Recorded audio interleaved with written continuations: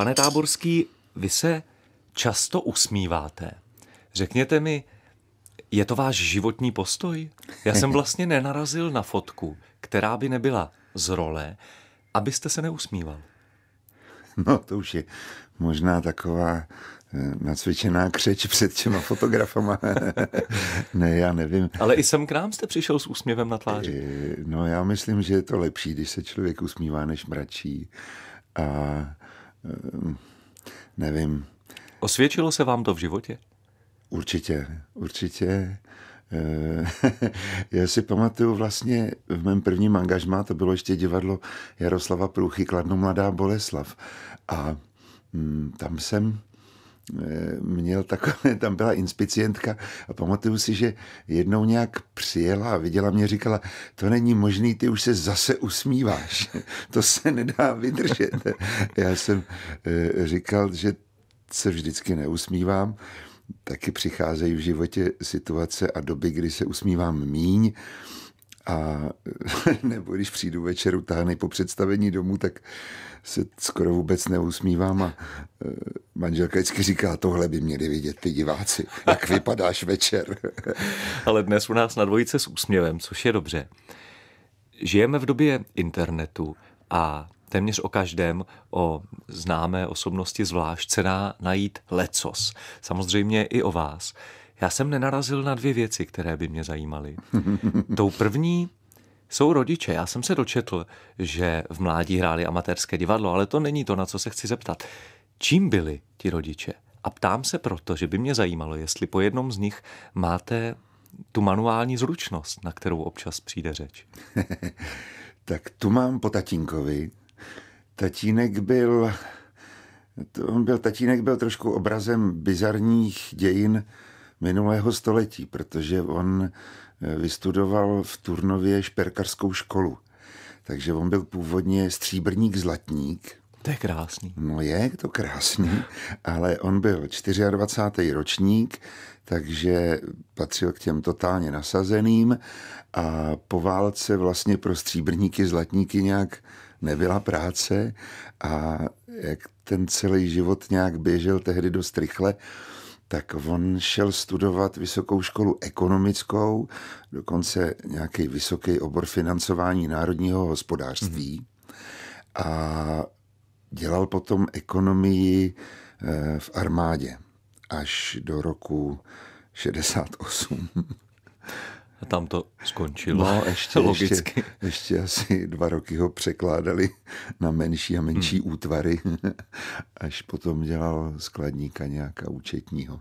Stříbrník a zlatník, to se mi líbí. A zlatník. Takže po něm zbyly ale krásný obrázky, který musel malovat a to. A pak se eh, vlastně jakoby v době, kterou já víc už vnímám, tak se chytnul chalupaření a furt někde něco vrtal, dělal mm. a opravoval. Byl takový, že potřeboval tu manuální práci a byl v tom šikovný.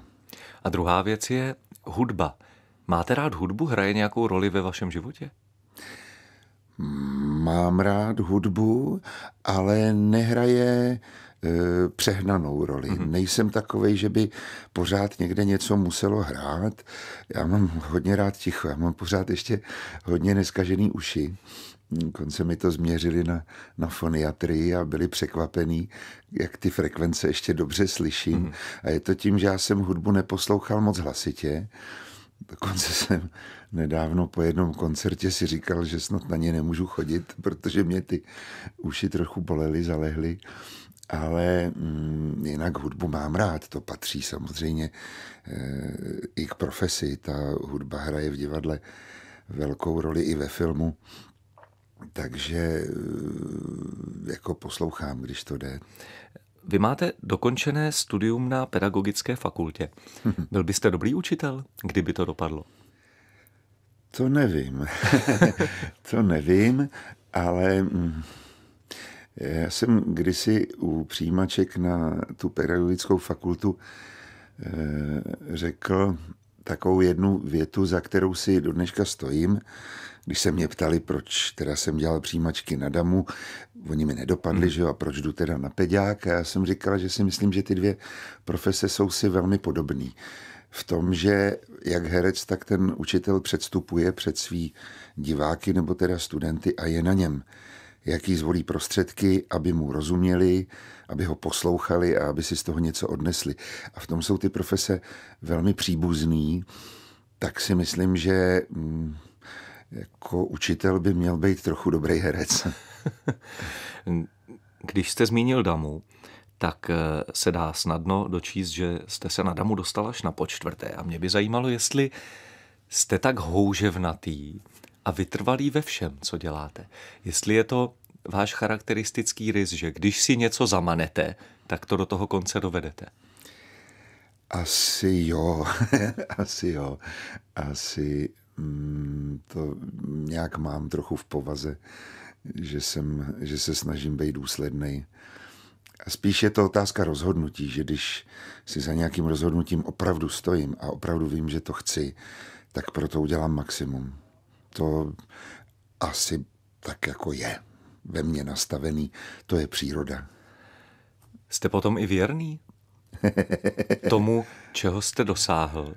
A zase se ptám s jasným cílem nebo z jasného motivu, což je váš dlouholetý vztah eh, s vaší paní, což je vašich 20 let v divadle v dlouhé. Vypadá to, že nejste fluktuant.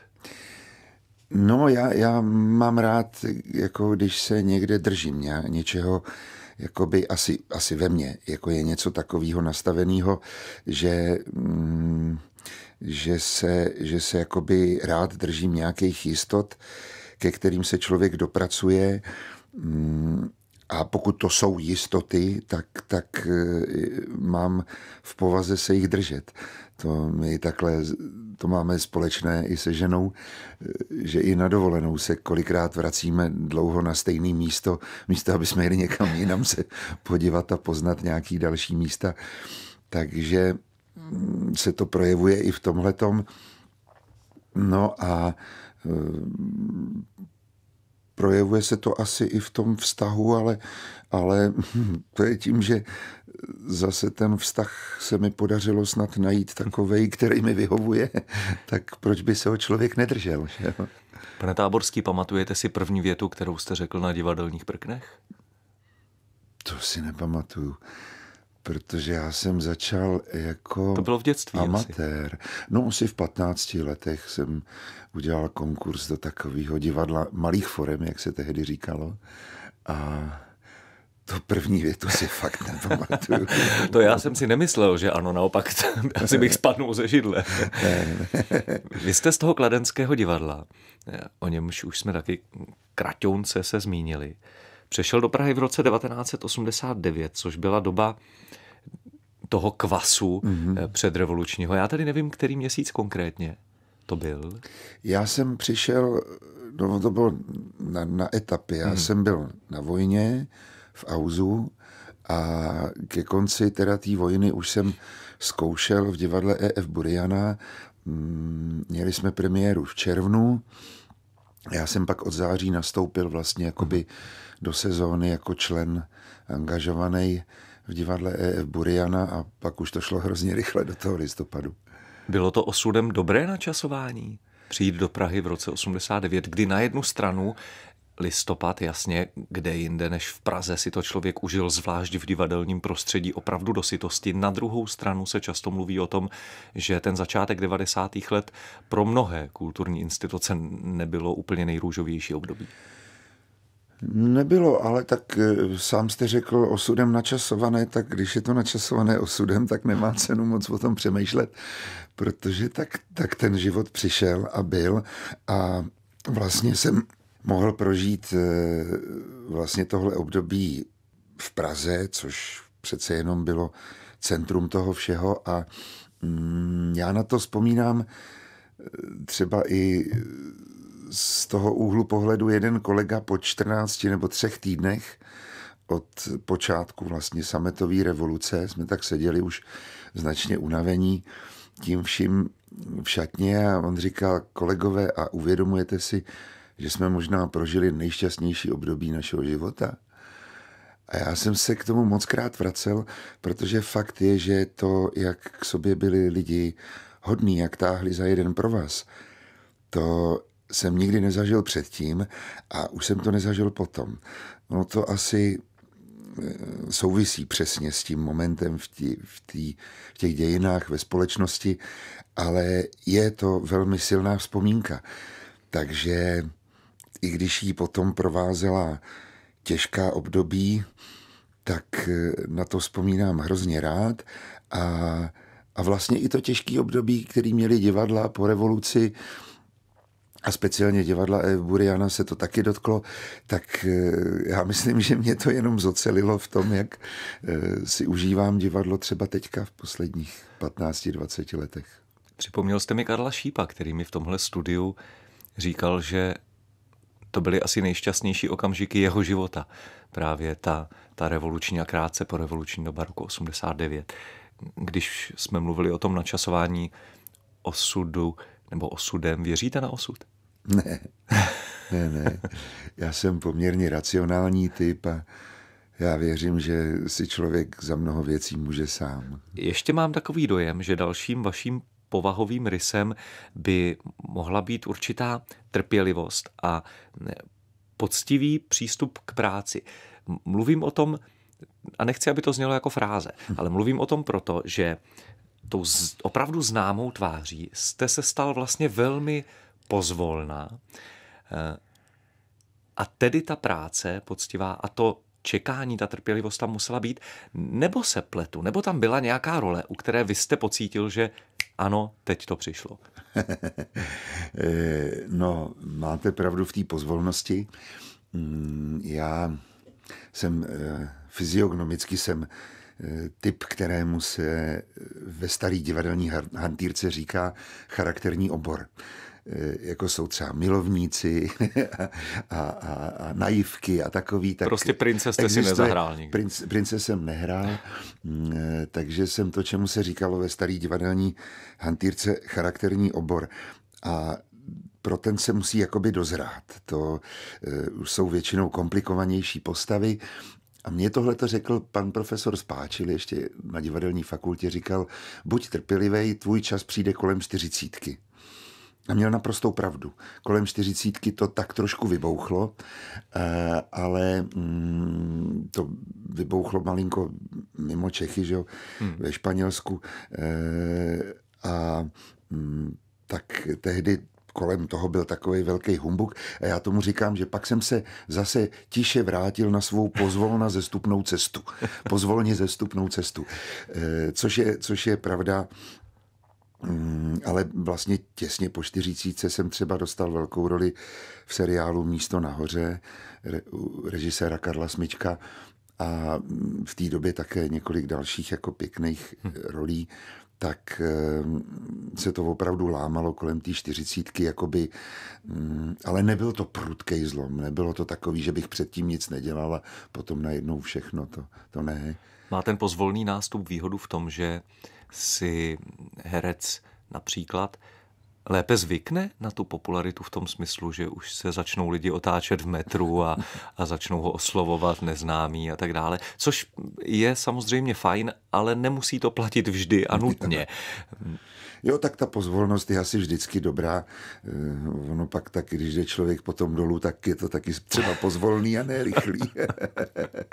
ale, ale to, to poznávání, to, to má hezký etapy. To nejdřív jako člověka tak jako poznávají, říkají, ty hele, my jsme spolu chodili do školy, nebo my jsme spolu dělali tamhle to, víš? Tebe od jako, znám. Já tě znám, hele, teď, teď my jsme, a to jsem zjistil, kde všude jsem studoval a byl v té době.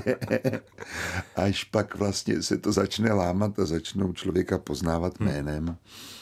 Eh, tak to jo, ale eh, je to samozřejmě ta pozvolnost v tomhle příjemnější. Říkal jste, že na škole vám to prorokovali, ten eh, nástup jaksi eh, rychlejší po té čtyřicítce, což mě dovádí k dalšímu údaji. Před několika dny, dá se říct, měl Marek Eben 60. A je to jeden z těch lidí, u kterých mi to nějak nejde dohromady, že Ebenovi je 60. Vás čeká 60 za dva roky. A také mi to moc neštimuje. Je pro vás věk něčím důležitým? Ano, nějak, když mě zrovna nic nebolí, tak ne.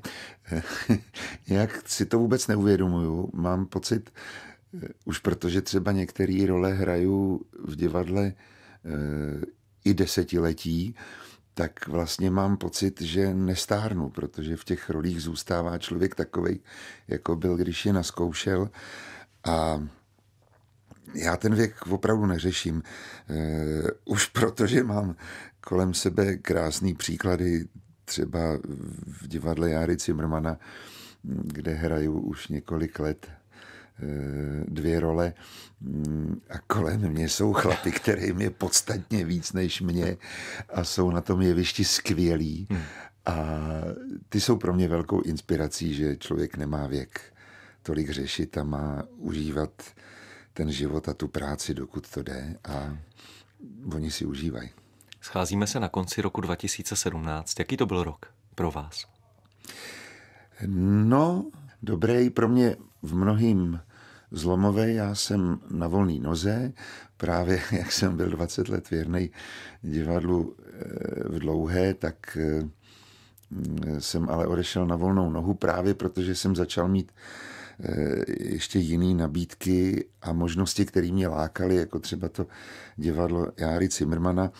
A mm, taky jsem chtěl zkusit po 20 letech už trošku divadlo jinak. Říkal jsem si, že ještě mm, mi není tolik, abych eh, abych zůstal v jednom divadle do, do důchodu a, a neskusil něco, co bych zkusit chtěl a to je trošku komornější práce postavená čistě jenom na herectví. Takže mám představení v divadle Vřeznický, mám za sebou premiéru v divadle Ungelt teďka, mám i dvě takové komorní zájezdové představení, tak eh, si zkouším jakoby... Mám, mám ještě na to dost sil, abych takzvaně na jevišti trochu dřel. Ať se vás ty síly drží. Říkal jste, pane Táborský, před chvílí, že rok 2017 byl pro vás dobrým rokem.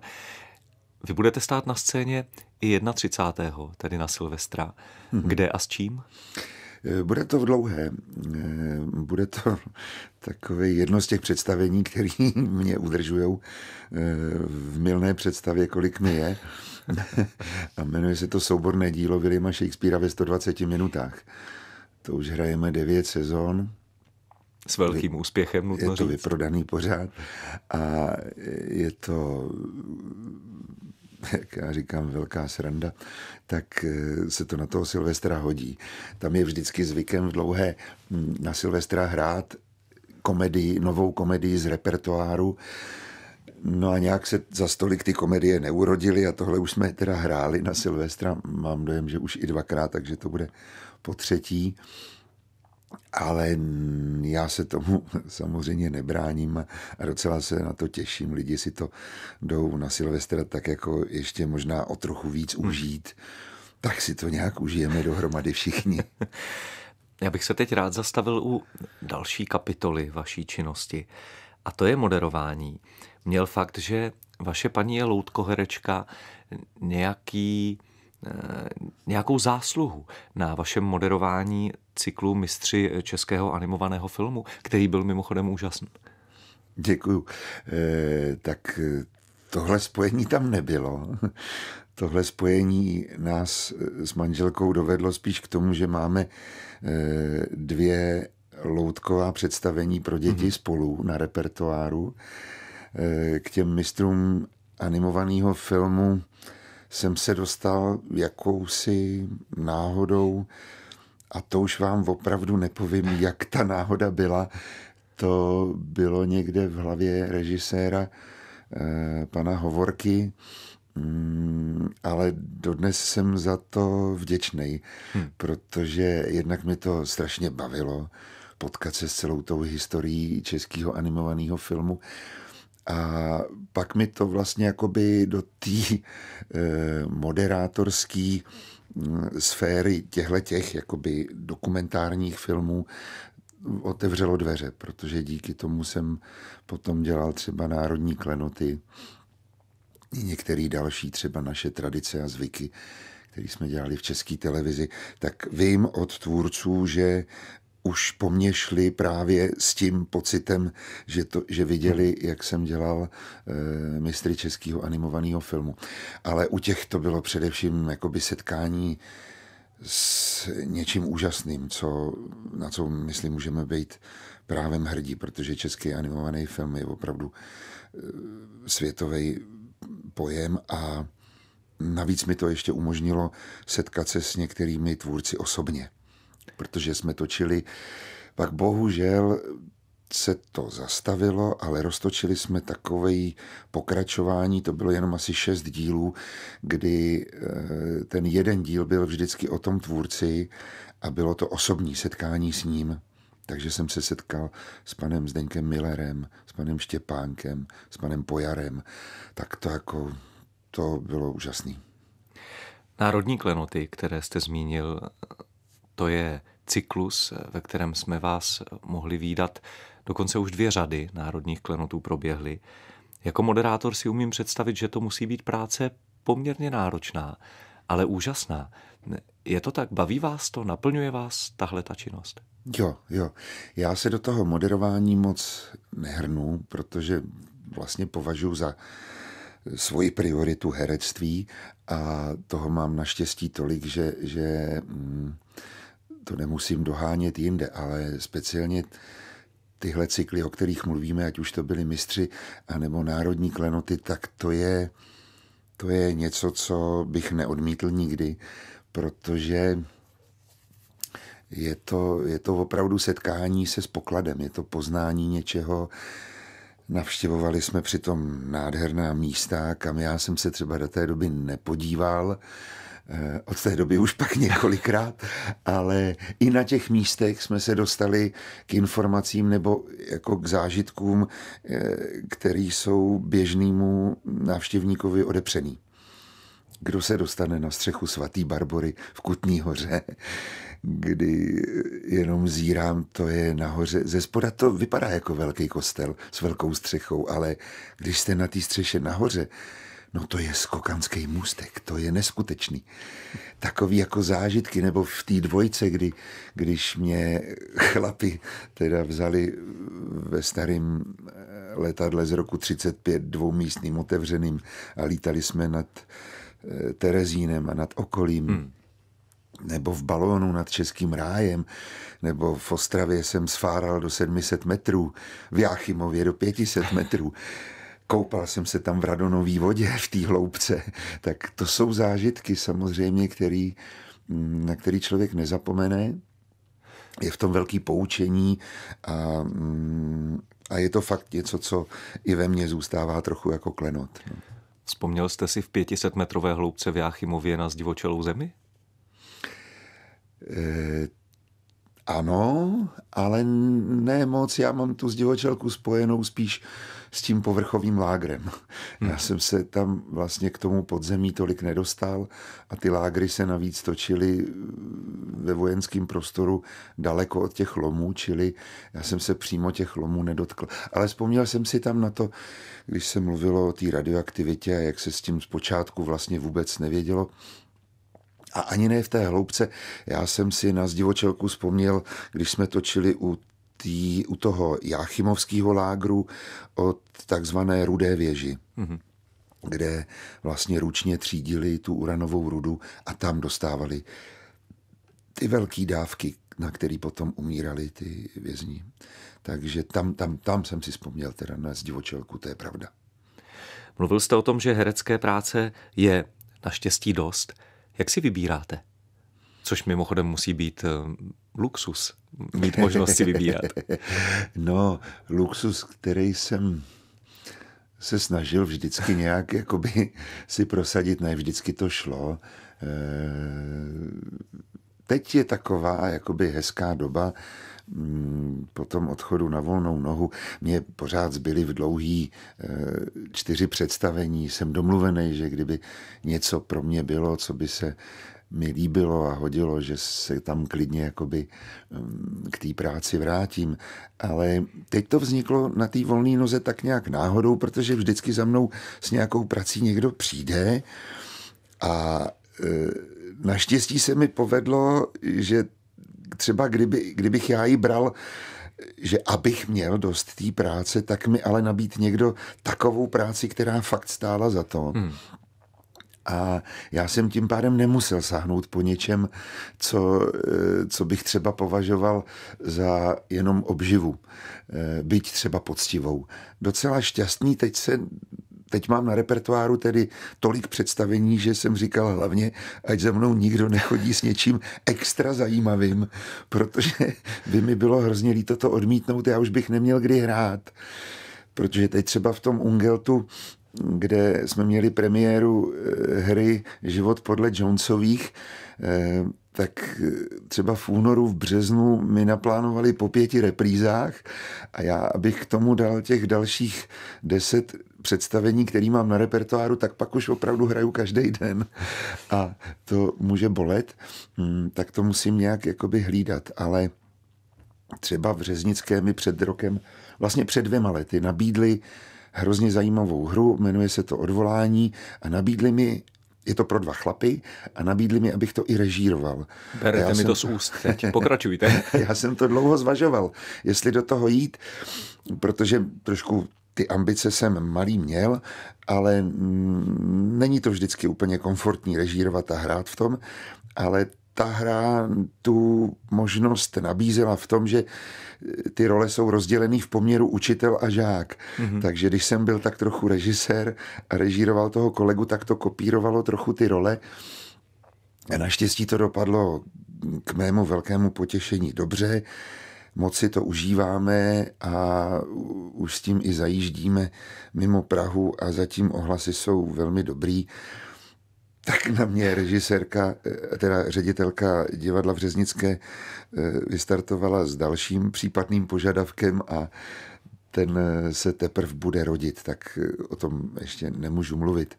Ale mm, teď toho mám zatím tolik, že ani nemusím. Ten požadavek, o kterém nebudeme mluvit, týká se opět režie. Týkalo by se to pravděpodobně opět kombinace režie s hraním. Hmm. A já jsem říkal, že se do takového modelu hrnout nebudu, ale nebudu se mu úplně vyhýbat, když ta hra k tomu bude zralá. Mm, myslím si, že to jde a že není ani tak problém režírovat sám sebe. Problém je spíš to hrát a přestat být při tom představení režisérem. Odpojit tu. To se učím a snažím se si to zakázat a vlastně až po představení si vzpomínat ex post, co mě kde napadlo, co mě inspirovalo nebo mi vadilo, protože při té hře to samozřejmě pak komplikuje ten můj výkon, ne těch ostatních. To odpojování se eh, jako samostatná disciplína, používáte ho i v případě blázince, tedy hry, se kterou jezdíte po vlastech českých, hrajete v ní vy samojediný, hrajete tam několik postav, celé to trvá hodinu a půl nebo něco takového. Ano. Musíte to utáhnout celé sám. Jak to lze? Úplně jednoduše, nějak nám to popište. tak je to divadlo jednoho herce. Když jsem byl mladší a viděl jsem nějaká představení, kde byl herec sám na jevišti, tak jsem si vždycky říkal, že bych to chtěl zkusit. Mm, pak už jsem na to zapomněl, jak běžel tak život a dohnalo mě to samo až teďka, kdy za mnou přišel Jaroslav Gilar eh, s textem, který vytvořil pro mě. Je to ze dvou povídek Edgara Alana Poua, takže je to poměrně šílený, je to opravdu blázinec, tak se to celé jmenuje. A byla to velká výzva. Já jsem i dlouho vzdoroval a říkal jsem, že eh, nevím, jako jestli to jde vůbec, jakoby, jestli by to lidi zajímalo a, a hlavně, že bych to musel hrát aspoň tak třikrát měsíčně, abych eh, to zvládal, protože to je opravdu monolog hodina a půl a ještě navíc ve vysokém tempu. Hmm protože to tempo, to, to je tam potřeba. E, no, ale bral jsem to jako výzvu, pořádně to tak jako lechtalo a říkal jsem si, zkus to, zkus to. Já mám rád takový to, mm, ten nadhled herecký, kdy se to řídí hlavou, kdy je to promyšlený, kdy to má nějakou koncepci a teď já se tu koncepci snažím naplnit a, a do ní vkládat přitom nějakou spontaneitu. No, tak... Jak se taková věc zkouší? Jak získáte ten odstup? já nevím, dejme tomu, když už máte pocit, že to drží nějak pokupě, natočíte si to, kouknete se, ne, ne, ne, to aby to člověk to viděl zvenčí. To nedělám. To nedělám. Eh, to vlastně souvisí třeba, když jsme se bavili o té eh, režii a zároveň hraní. Já si myslím, že herectví je vždycky o tom, že herec si myslí, že něco hraje a divák to nějak vnímá. Nebo ten vnější pohled. A ten režisér je tam od toho, aby se to sladilo, aby, aby to tak i bylo, jak si to ten herec myslí. A já zase tvrdím, že čím je herec lepší, tak tím víc se to shoduje. Ten, že si myslí, že něco hraje a divák to tak vnímá. A mm, tohle se zkoušelo na etapy a hlavně já jsem se stal trošku spoluautorem té finální podoby textu, hmm. protože jsem tak si předělával ty věty a souvětí, aby mi ta myšlenka pěkně vycházela. Jakoby jazykově jsem to sešíval dohromady, což mi umožňuje vlastně, že jsem, že mám v hlavě takovou jakoby e, tu autorskou parketu toho textu, takže když se někde ztratím, tak se rychle vrátím a najdu to řešení, eh, což se mi zrovna nedávno stalo, no, ale, ale vysekal jsem se z toho. Letošním posledním hostem do domu dnes, 29. prosince, je na dvojce Miroslav Táborský. Herci možná nemají rádi pořekadlo o tom, že není malých rolí, ale já se ho teď chytím, protože mám dojem, že ať vaše role na plátně nebo v televizi je sebe menší, tak je taková, že ji z hlavy jako divák nedostanu. Prostě si ji zapamatuju. Zapamatuju si vás v té roli. Jak to děláte? to nevím. Eh, ono se taky někdy mezi herci říká, že není malých rolí, ale ať si je hraje někdo jiný. Jo. v čem je to kouzlo? Že No, je to v tom, že já třeba i spoustu malých rolí odmítnu, ale když je vezmu, eh, tak je beru proto, že ta role je něčím zajímavá a že mám pocit, že vím, eh, jak si s ní poradit.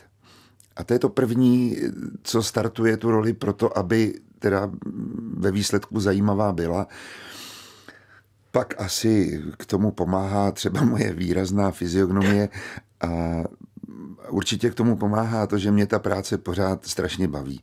Takže se jí snažím udělat dobře, ať je malá nebo velká, takže se snažím být v té roli hm, jakoby hmm. co nejdůslednější, nejlepší a tím pádem jako je asi dobře, že je uznamenatelná. Já jsem si na to vzpomněl, protože jsem se před několika dny se synkem podíval na krásný poetický film Dům u Zlatého úsvitu, takový pohádkový, s takovým zvláštním čarovným nádechem. No a tam hrajete doktora, takovou menší roli, ale prostě a jednoduše tak výraznou, že zapomenout na ní nelze. Mluvili jsme o tom, jaký byl pro vás rok 2017.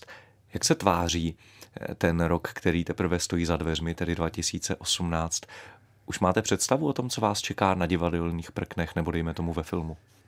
No, mě čeká na divadelních prknech, eh, doufám, pěkný rok.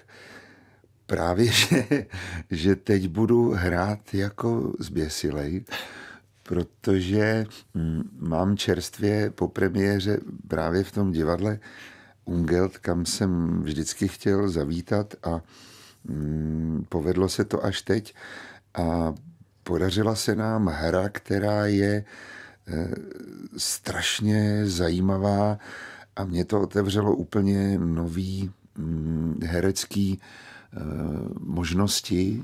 Režíroval to Marek Němec, herec, takže je to hodně přes herce, no tam taky nejde moc vymýšlet dekorace a podobné efekty, je to malý divadílko, hmm. ale hraje tam se mnou Vanda Hýbnerová, Láďa Hampl a Lucie Štěpánková. A myslím, že jsme vytvořili skvělý tým a dopustili jsme se velmi detailní, precizní herecký práce, a je to ještě hrozně čerstvý, tak já jsem takový napjatý, protože ta hra je i velmi, velmi křehká, takže tak přicházíme na to představení tak, tak jako nadechnutý, abychom, aby se nám to někde nezbouralo, aby, to, aby jsme se toho křehce dotkli a ono to zafungovalo. Je to taková vlastně, já tomu říkám vážná komedie. A, nebo komedie na vážný téma. A mm, toho si doufám budu užívat celý rok 2018 hodně. A mm, mám vlastně k tomu jedno představení, o tom jsem se nezmínil, ve Viole, jmenuje se to Rovnost, volnost gastronomie, velmi příjemný, zábavný večer. K tomu mám ty dvě zájezdové představení, mm, tu solovku, jedno představení ve dvou, mám představení v Řeznický, dvě u Cimrmanů, čtyři v Dlouhý, čili já se v roce 2008, a zatím nic z toho nevypadá, že by šlo pryč, takže já se v roce 2018 rozhodně nudit nebudu. A pokud jde o filmy, filmové projekty, tak tam zatím před sebou nemám konkrétně nic, o čem bych mohl mluvit, abych to nezakřikl. Je tam ve hře jedna, a byla by to velká role, ale teprve se ten film uchází o dostatek financí k natočení, takže uvidíme. Budeme držet palce. Když jsem začal tím, jestli byste byl dobrý pedagog vzhledem k vašemu pedagogickému vzdělání, až vás někdo osloví, abyste učil herectví, vezmete to? Už mě oslovili několikrát a mm, zatím to nevezmu, protože já si pamatuju, že když nás učili třeba výborní herci, tak strašně často eh, se stávalo, že nemohli přijít na hereckou, protože měli nějaký natáčení nebo něco ve své profesi. A já si zatím úplně nedovedu představit, že bych dokázal regulovat svou hereckou práci proto, abych mohl učit. Mm-hmm. A zároveň bych tím pádem nechtěl vystavovat studenty tomu, že bych chyběl. Tak eh, to je zatím ta situace. Třeba se to časem změní. Miroslav Táborský byl naším dnešním hostem do domu posledním v roce 2017. Já moc děkuji za to, že jste si na nás udělal čas. Přeji vám všechno dobré do roku nejenom příštího. Ať té práce neubývá, ale ať vás na druhou stranu neuštve. Mějte se moc pěkně a ať se daří. Děkuji za pozvání a vám i všem posluchačům krásný rok 2018. Děkujeme pěkně.